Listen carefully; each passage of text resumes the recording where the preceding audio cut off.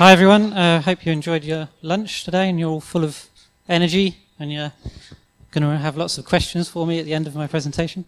Uh, yeah, so I'm John. Um, I am one of the core contributors to WordPress and I'm on the uh, WordPress security team. Uh, like Justino said there, I work for HumanMade, which is a WordPress specialist development agency over in the UK. Um, I'm going to be talking about uh, WordPress as a mature platform today. Um, my talk might be a little short, so um, hopefully we can get some good questions and answers after the talk um, and have a bit of a discussion going. So get your brains going. So WordPress is 13 years old now, and the software that it runs on, MySQL and PHP, is even older, uh, from 1995. So we're running a stack of software which is 20 years old, and that means WordPress is a mature platform. But what do I really mean by that? Well, WordPress is well established. Uh, depending on which stats you look at, WordPress now powers 25% of the whole internet. And we've got about 40,000 plugins available for download, and we've got thousands of themes. And it's proven. Uh, it powers some of the largest and most visited websites in the world, as does uh, MySQL and PHP. And it's stable. It's got a commitment to backwards compatibility that's probably not matched by any other web software out there at the moment. Um, the WordPress core software evolves. It doesn't change quickly, so that makes it a mature piece of software. Uh, but the internet is a fickle place. So some people who are proponents of more modern software might call WordPress old or bloated or boring or some other rude words that I can't say up on stage. Um, so if this is the case, if WordPress is old and it's boring, then how can WordPress move forward and how can it stay relevant in the face of competition from uh, much more trendy JavaScript and PHP libraries? Well, let's start by taking a look at some places where WordPress already does do this. Uh, now, responsive images aren't really a new thing anymore, but browser support, good browser support for responsive images is relatively new. Uh, Google Chrome has only recently added support for the source set attribute, the full, full range of support. And WordPress has added support for this in version 4.4, which shipped in December. So if you're running WordPress uh, 4.4, you now get responsive images out of the box. You haven't got to do anything. You don't have to configure it. You don't have to change your images. You just get it out of the box. And due to WordPress's popularity, powering over 25% of the sites on the internet, it's actually had an effect. Uh, this is Google Chrome's uh, data usage for the source set attribute on all the websites across the world.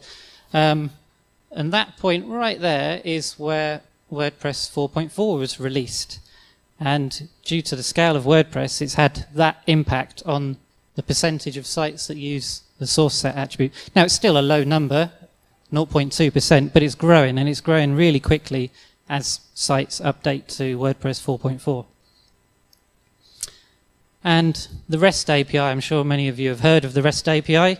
The infrastructure is now in WordPress 4.4, um, and the aim of the REST API is to provide a modern, powerful, standards compliant, uh, JSON powered API, and to provide that to all WordPress websites. Um, the REST API will probably become the single largest distributed API on the internet once it gets uh, once it gains in popularity. Um, and HTTPS, we're doing a lot of work on improving support for HTTPS in WordPress, and a lot of the web is moving to HTTPS, so we're going to try and keep on top of that. And support for HTTPS means that we can start working on support for HTTP2, uh, which means pipelining and server push and lots of modern performant technologies that will push the web forward. So these are the things that we're doing already. So from a technical point of view, it turns out that even though WordPress is a mature piece of software, it is perfectly capable of implementing modern technologies. Um, but there's a there's a bigger picture beyond just the technology. Uh, it's made up of many parts, and we'll have a think about what those parts are shortly. Um, let's take a look at some of the parts where WordPress is already starting to uh, implement non-technological changes to move the platform forward. Um, but before we look at those, we just need to ask, answer a quick question. What is WordPress?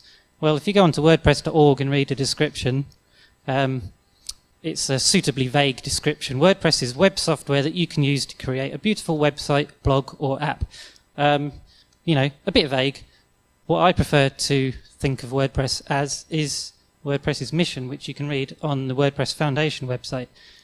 WordPress's mission is to democratize publishing through open source GPL software. Now, if you bear that statement in mind, we'll take a look to see what other areas WordPress is moving forward in. Uh, internationalization and localization. Um, at the contributor day yesterday, we had a really great turnout from uh, a whole bunch of people who were interested in translating WordPress and helping out with the whole localization process. Um, this is actually one of the most important areas of WordPress with regard to moving it forward. Um, it's the area probably where WordPress can grow more than others, uh, more than all others. Um, only about 45% of WordPress installs now are used in English. 55% of those are non-English, and that number can only continue to grow as WordPress expands to more non-English speaking uh, countries, non-English speakers. Um, but the quality of the translations is important as well, not just the quantity. We're doing quite well with this. Um, has anyone heard of this? This is the um, Global WordPress Translation Day. It's happening on the 24th of April.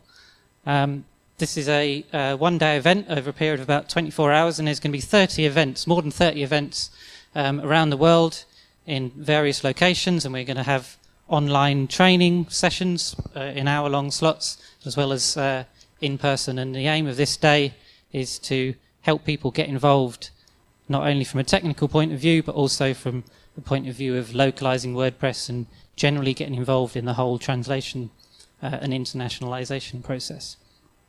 Uh, no doubt we'll also have people translating WordPress 4.5, which will have been released a, a week before the event, so they'll be they'll be busy.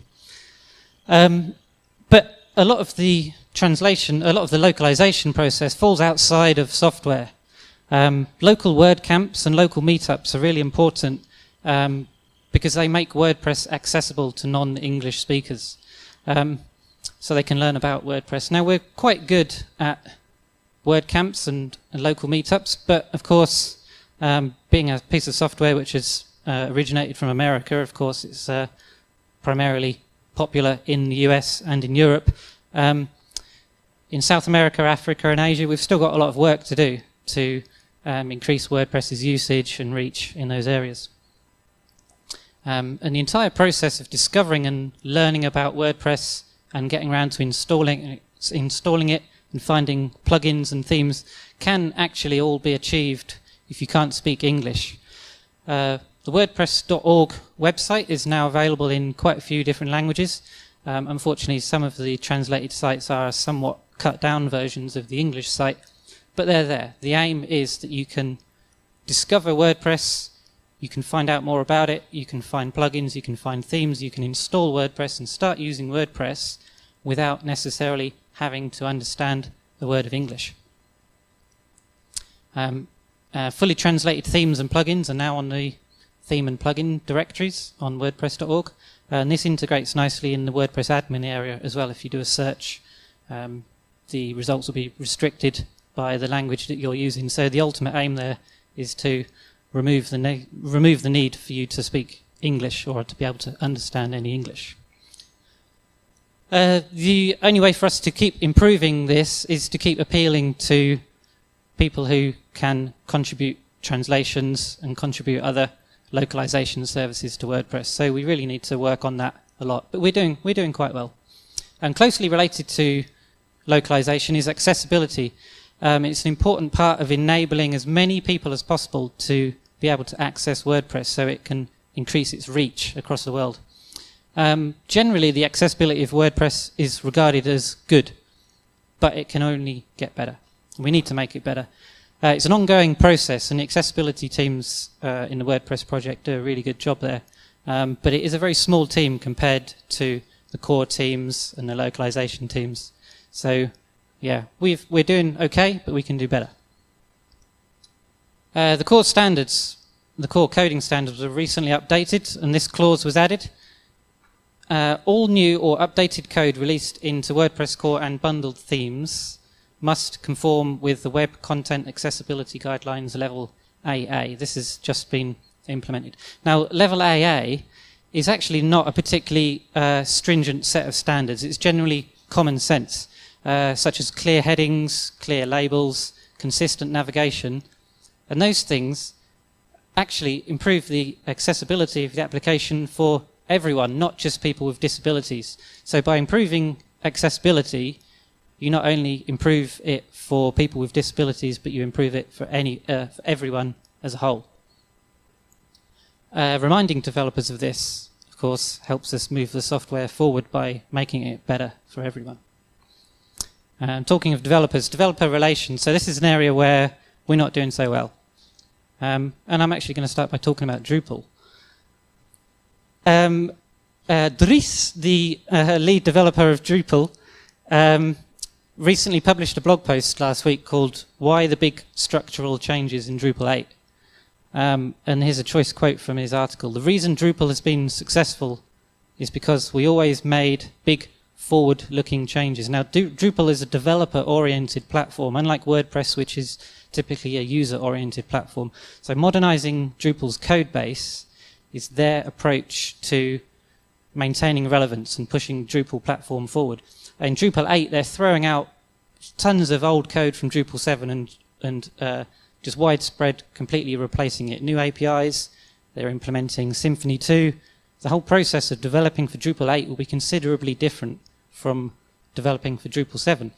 Um, but if you read this article by uh, the lead developer there, it's become apparent that maintaining relations with existing Drupal developers who are used to developing on Drupal 7 is actually really tough because there's such a steep learning curve from moving from Drupal 7 code to Drupal 8 that it's actually putting off Drupal developers. And Drupal are looking into ways that they can maintain their current developer um, crowd and also make Drupal 8 appeal to developers who want to use much more modern platforms in order to move the platform forward. Uh, I'd encourage everyone to go and read that article if you give it a Google afterwards. It's a really interesting article. It covers topics about development that you might not immediately think would come to mind. So on WordPress, on the other hand, has a very strong commitment to backwards compatibility. We don't break things like Drupal does. Um, as a general rule, plugins and themes that were written years ago for WordPress will still work in the latest version of WordPress. And the whole aim is to make automatic updates for users um, a, painless exercise. They needn't fear updates. Uh, and that's one of the ways that we can move the platform forward by encouraging users to keep up with latest versions of WordPress and not have to worry about the fact that their site might break when they update. Um, but for this same reason, WordPress also maintains compatibility with a version of PHP that's now nine years old, uh, PHP 5.2. Uh, and the reason is it's PHP 5.2 is still in use on 5% of all WordPress websites, which doesn't sound much, but when you are talking about 5% of 25% of the entire internet, that's actually a large number of websites. So breaking that compatibility with PHP 5.2 is a hot discussion topic at the moment in the WordPress community, but it's not something that the core team um, are too keen on breaking, basically. We don't want 5% of 25% of the internet to be stuck on a version of WordPress because they can't update because they've got an old version of PHP. Uh, but what this does mean is this makes it difficult to modernize the WordPress code base because the restrictions that PHP 5.2 put in place means it's really difficult to rewrite old code in WordPress and bring it up to modern standards without breaking backwards compatibility. Um, it also makes it difficult to attract new developers to WordPress, especially younger developers who are um, who've primarily come into web development via modern PHP and JavaScript frameworks that are much better structured than WordPress. They come along, look at WordPress, and go, "Whoa, I'm not going to deal with that that mess." Um, the newer APIs in WordPress are much more modern, but there's still the restriction caused by WordPress 5.2, and this is something that we really need to work hard on. The developer relations as well as um, finding out how we can modernize the WordPress code base without outright breaking backwards compatibility. Uh, talking of developer relations, so this is something that we need to work on fairly hard too.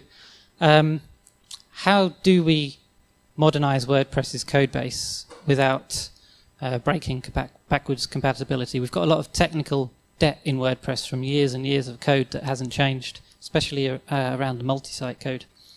Um, we need to remain a user-first platform. This is one of the key um, parts of WordPress. It's a user-first platform. Um, we can't expose users to complications such as PHP version requirements, uh, dependency management, all that kind of thing. If somebody barely knows what WordPress is, you know, they've got a website running, but somebody set them up. If they barely know what WordPress is, how can we expect them to understand what PHP is, what a dependency management system is? This is the stuff that we need to abstract away from users and put the burden on developers, but it's tough. We need to do a lot of work in this area. It's a process that the whole community really needs to work on. Um, developer contribution to WordPress. Uh, this includes writing code, testing new features, testing bug fixes, that kind of thing. Um, the general process of contributing development to WordPress over the last couple of years has taken the form of uh, feature plugins. Uh, these are plugins that are built first as an independent standalone plugin. It gets developed to a mature state, it gets tested, and then it gets proposed as a feature which could be merged into WordPress once it's once it's uh, complete. Uh, this process has been fairly successful, um, or partially successful maybe. We've got a bunch of features in WordPress, such as the new theme browser um, and various other things that have come about as uh, the result of featured plugins. Um, but we've also got some projects which started out as featured plugins and never came to fruition either through uh, uh, either as a positive result of testing the the function and and it turned out that actually it was a terrible idea, or as a negative result of uh, a breakdown in the whole development process. So uh, Helen, who's one of the lead developers of WordPress, um, last week, or actually only a few days ago, uh, you can tell how long ago I wrote my slides, only a few days ago introduced a change to the development process of WordPress. So we're not going to call them feature plugins anymore, we're going to call them feature projects. Um, the entire process from idea through the planning stage and the design phase and the development stage and the testing phase and the implementation phase is going to be approached as a whole now as a project instead of just a plugin. Uh, the aim is to attract and retain users who have got much more a widespread uh, set of skills. So they're not just PHP developers or CSS or JavaScript developers. So we can get more designers on board, we can get user experience experts on board, we can get testers on board. And the aim of this is just to get a much wider range of skills brought into the WordPress community. Uh, this is a really positive change. I'm actually looking forward to seeing how this is this uh, is going to work. Um, oi, I haven't got my choice quote up. Here we are. Most will uh, most feature projects will start as ideas that need exploration to be more fully formed or fleshed out before implementation. Uh, you can read Helen's uh, article on make.wordpress.org slash core if you're interested in how this new process is going to work. Um, yeah, that's a real positive change. So where does that get us so far? We've got localization, we've got accessibility, we've got uh, developer relations and developer contributions. Well, WordPress as a platform as a whole, if we can nail all of these, if we can get all these right, then WordPress actually becomes really compelling for a large number of users that would otherwise potentially look at more modern platforms. Very few modern platforms are mature enough to have things such as a mature localization platform that we're lucky to have in WordPress. And they uh, don't have mature accessibility standards, and they potentially don't have mature contribution uh, standards and, and, a, and, a, platform for doing so. So if we can get all of these right, even though WordPress remains a piece of software that might not have the latest tech in it, it's actually a really compelling platform. And that means that the reach of WordPress increases greatly. across the world, basically, that where WordPress isn't being used so much at the moment, this, these four points um, really, really let us increase the reach of WordPress in those areas. Um, let's get on to something a little bit more controversial now. The project direction or lack thereof. WordPress has never really had much direction. Uh, this stems from the fact that it started off as a piece of blogging software. Um, if we remember back to the description of WordPress from the WordPress.org website, you can see that the description is very open-ended. It looks like a, a, a little bit like all things to all people. It's not very well defined. Does that mean that there's a risk that WordPress can, will become a jack of all trades? I think without direction, without strong leadership in the WordPress project, there's a real danger that WordPress actually becomes a jack of all trades. Um, WordPress now powers lots of large websites. It competes in the enterprise industry, and it's now got a REST API that allows WordPress to be a headless CMS to completely decouple the admin area from WordPress completely. You could use a WordPress website without even seeing the admin area at some point in the future. Uh, this does mean that there's a potential for features in WordPress to become mediocre, and we've got some already.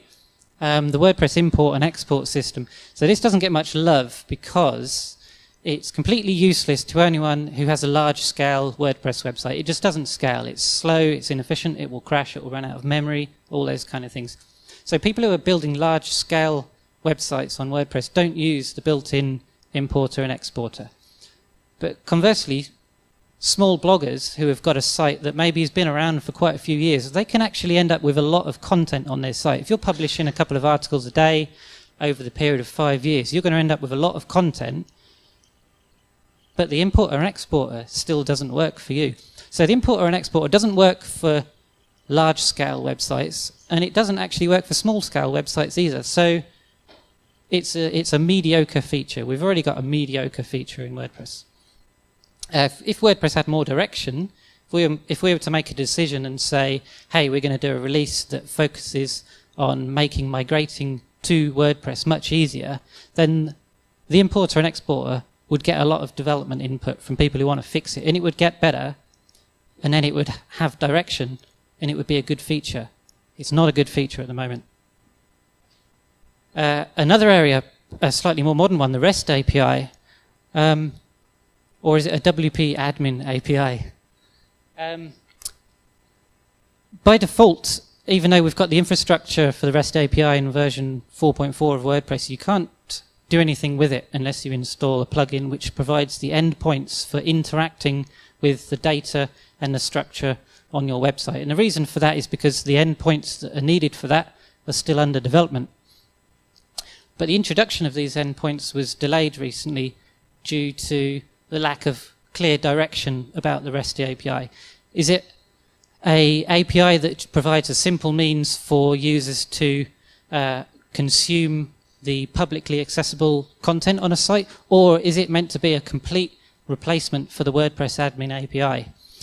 The lack of direction from the REST API there has actually put the project in jeopardy because we're now questioning what we're building for the REST API. And it's caused a lot of tensions within the WordPress community.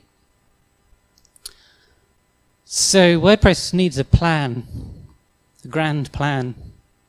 Uh, we need some longer term goals we need to decide on the direction of WordPress, and we need to allow those decisions and those plans to drive future enhancements and new features in WordPress. Um, WordPress lacks some leadership that has never it's never really had since it was started in 2003. I think uh, there's uh, I think it's time for that to change. Um, the community needs to have a, some strong leadership that it hasn't seen for a long while. So I'd like to start that discussion, and I'd like to start it here. And I'll be publishing uh, an article about it, maybe on my blog or something, um, in a few weeks' time about my uh, in-depth thoughts on leadership within the WordPress community. So look out for that. Um, I'm going to uh, leave that there for now, and I'm going to finish up on a slightly uh, more positive note. Uh, the open internet. So we all love the open internet. and um, WordPress has long supported open data standards such as RSS and OEmbed and more recently JSON in the REST API. Um, these open data standards enable the open uh, the, the freedom of exchange of information across the open internet. And it's important for WordPress's future that we maintain an open internet. Uh, the governance of the internet as well um, is important to the future of WordPress because it's important to the future of the internet as a whole. And if we haven't got an internet, if we haven't got an open internet, then we haven't got much of WordPress. So a big thing that the WordPress community can do to help the project move forward in the future is to start to get involved with some of the organizations on the internet which promote um, open standards, they develop open standards, they fight for net neutrality and campaign against uh, unnecessary regulation and surveillance. So in a few weeks' time, I'm going to announce uh, an outreach program for WordPress, and the idea is to get more people from organizations such as Mozilla and the Open Rights Group to get involved with WordPress and vice versa. Um, hopefully, we can attract some people from those groups to WordCamps, to uh, local meetups, uh, with the idea of giving these kind of organizations much more exposure within the WordPress community and some cross collaboration. Uh, so look out for an announcement on that uh, within the next few weeks. Um, now I'm a little bit short on time, so we've got some good time for questions and discussions. If anybody's got a question.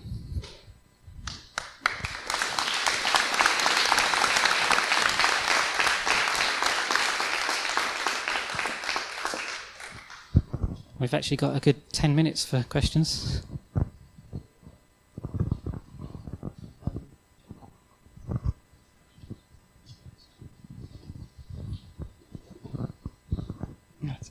Okay, just a small question about APIs. So you told uh, it has been postponed. Do you know any plan, any thought about dates, discussions? Uh, short answer is no. um, so for those who don't follow WordPress core development closely, the original aim was that the infrastructure for the API would go into version 4.4, which it did back in December. And then the endpoints, which are required for uh, uh, actually dealing with the interaction of the API with data and structure on your site, would go into WordPress 4.5.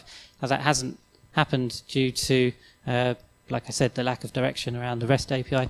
Um, so it's not going to arrive in WordPress 4.5, which is due out in a few weeks' time. If I'm honest, there's a very slim chance that it will arrive in 4.6 because the whole question of what the API is has been raised. That means that we're potentially looking at nine months or a year away from now for the REST API, unfortunately. Now, the WordPress REST API plugin is still in development, so you can have your WordPress 4.4 or 4.5 site and then install the REST API plugin on there, and then you get the endpoints that are under development, so then you can build rich applications that can potentially replace the WordPress admin API as a whole. But by default, users who don't understand that kind of thing aren't going to have that kind of functionality available on their site. For um, yeah, I, I'll be surprised if I'm honest, to see that in the next nine months, unfortunately. John, can you tell us a little bit more about the uh, controversy around the API? I know you talked about it a little bit, but for people that have not been following, if you can just sum up what are the different positions regarding regarding the API being included or not in core. Yeah. Okay. So. Um,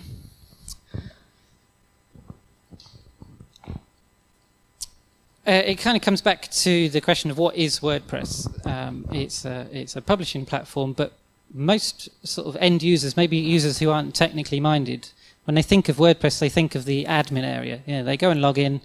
They've got their menu at the side for posts and pages. They might have a settings screen and a user screen, but there's quite a lot of stuff that you can do in the admin area on top of your content. So, for example, there's a um, there's, there's a terrible feature in WordPress that nobody likes, which means you can edit plugins and you can edit your live theme right from within the admin area in WordPress. And you can also change a bunch of settings on the site and you can manage users and, you know, everything that you can do in WordPress, you can do through the admin area. Uh, the question that was raised was, should the REST API provide everything that the WordPress admin interface provides? So should it have feature parity with someone who just logs into their WP admin uh, uh, area?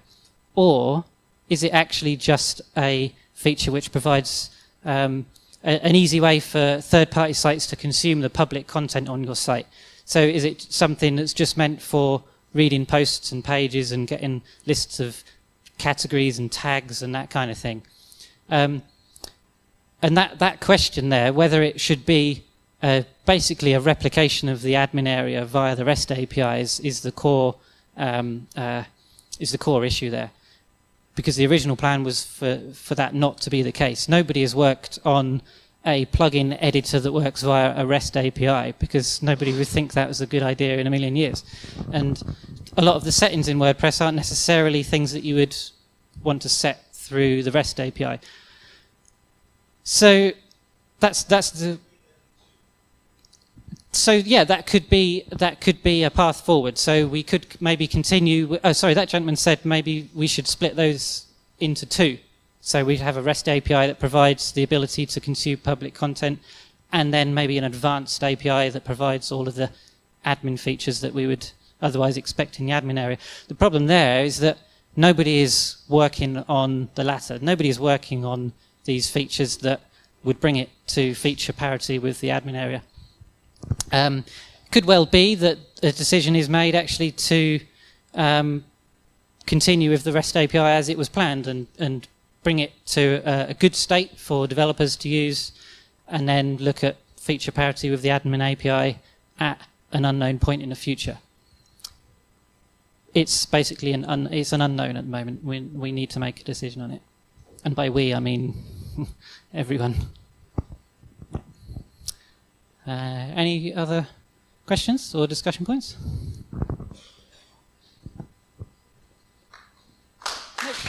Thanks very much.